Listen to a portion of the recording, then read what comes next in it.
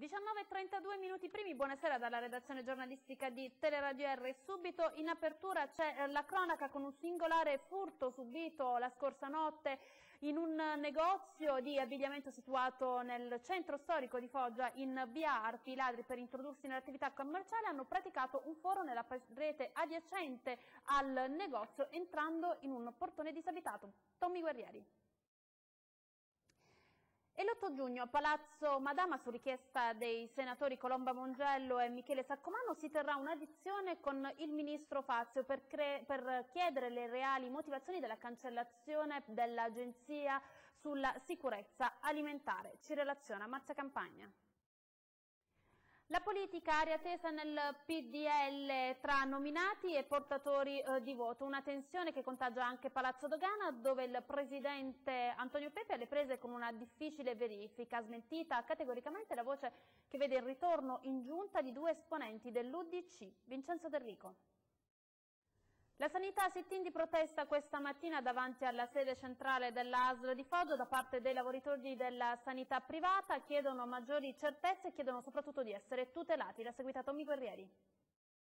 Ed ora ci spostiamo in provincia. È iniziata questa mattina la cantierizzazione per i lavori del nuovo porto di Manfretonia. La struttura, che sarà pronta entro un paio di anni, prende il nome di Marina del Gargano e prevede 660 posti barca per un, per un costo complessivo di 50 milioni di euro. Vediamo.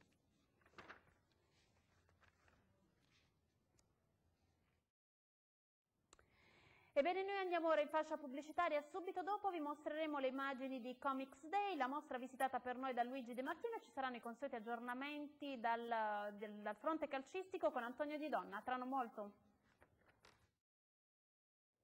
43 minuti dopo le 19, eccoci ritrovati insieme per proseguire l'informazione della nostra emittente. Anche Foggia partecipa al Comics Day, la giornata nazionale del fumetto, con una mostra allestita negli spazi espositivi della Magna Capitanata, la biblioteca provinciale, mostra visitata per noi da Luigi De Martino.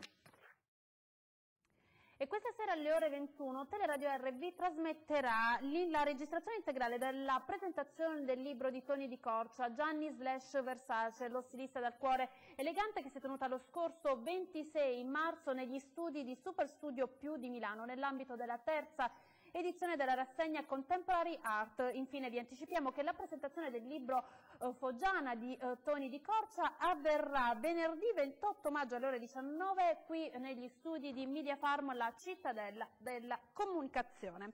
E si avvicina intanto per il Foggio il momento verità, lo scontro di domenica nella prima dei play-out contro il Pescina, rossoneri che si allegano a Castello di Sangro. Noi nel frattempo, meglio noi, Antonio Giona nel frattempo ha intervistato l'esperto di Lega Pro, Eziolino Capuano. Ascoltate. Bene, noi siamo in chiusura. Prima di salutarci, spazio alle previsioni del tempo. Partiamo da domani, sabato, dove è previsto cielo irregolarmente nuvoloso, temperature ancora al di sotto della media stagionale, venti moderati da ovest, mari molto mossi. Per dopodomani, domenica, si prevede cielo sereno, temperature in leggero rialzo. Ed è tutto per questa edizione. Se volete con me ci rivediamo alle 22.30 per una nuova edizione del telegiornale di Teleradio R. Arrivederci.